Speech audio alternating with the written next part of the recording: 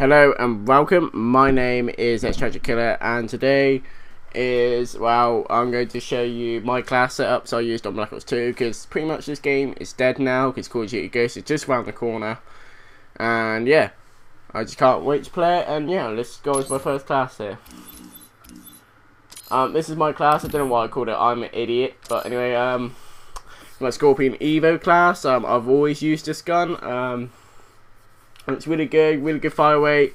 Um, the attachments I use is on it is fast mag, laser sight, um, because fast mag, faster the reloading. I'm, I don't need extended mag and all that because I'm used to just just spraying with it usually. And then the laser sight increases my hip fire. And yeah, I have now and again I've got to use the recoil. Um, get used to the recoil. Sorry.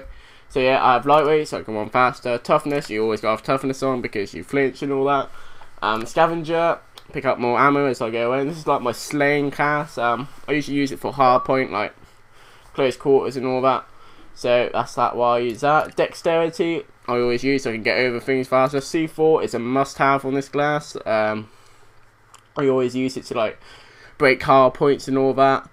And yeah, and I usually change this concussion to an EMP because I usually throw the EMP to get a um, to tell what when the enemies are. You know when you throw it and um, you know, get a hit marker.